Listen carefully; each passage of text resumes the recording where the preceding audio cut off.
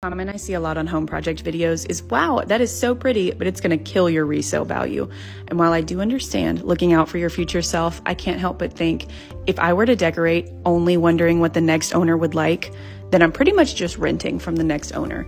And life is too short to not have a space that represents your fun personality.